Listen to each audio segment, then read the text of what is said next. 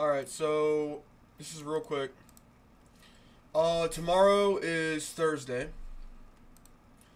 And I have a date. Boom, poppity, scoopity, whoopity, bop, doobity, scoopity, boop. I have a fucking date. Alright. She's very beautiful. Um, she's extremely relatable. Uh, we've been talking on the phone for about two days now via text message. We've been connecting. Uh, we opened up yesterday. We really opened up. Um, we're going to be eating at Chili's tomorrow at 5:30 p.m. Um, she kind of knows what I look like uh, because I kind of know what she looks like. I didn't really get to absorb everything. I just know she's extremely beautiful. She's 5'2".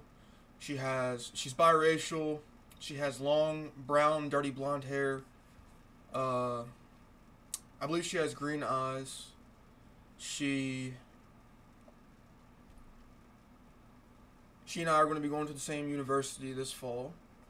Um, you know, I know a lot about her, and I have a gift. I'm gonna give her uh, some flowers, a vase, and of course she likes Sprite, which is a soda. She loves Sprite soda, so I'm going to give her that.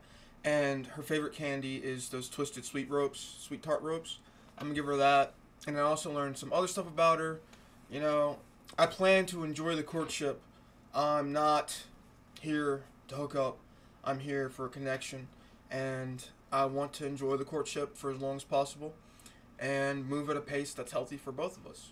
Because why would I want to become too intimate too quickly when I can embrace the person and have a companion? You know, that's more important in my opinion. So, yeah, and she's honestly, she's not a party girl.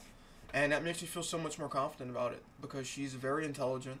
She doesn't date. She doesn't date white guys because apparently they've treated her bad. They've treated her bad in the past.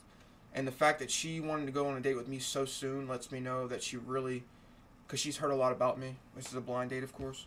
And she and I are so similar. It's kind of ridiculous. Um. So yeah, I'm pretty excited.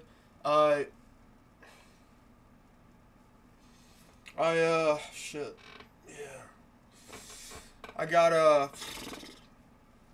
some new boots I'm gonna wear. I might wear my button down that I bought at Ross today.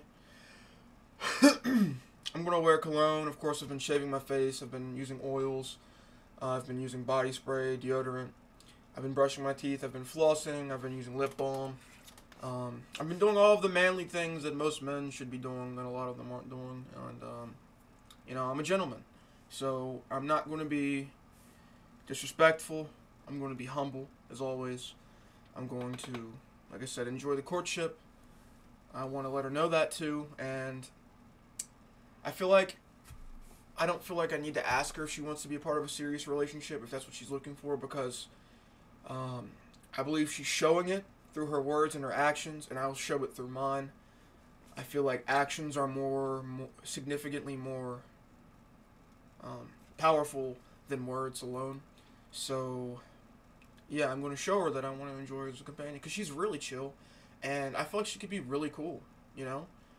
And maybe she's my girlfriend, that'd be really nice too. But uh, yeah. I don't know if I'm gonna keep you guys updated if it goes good or not. Um, I'm probably going to enjoy every second of it and stay away from YouTube like I've been doing for the past week.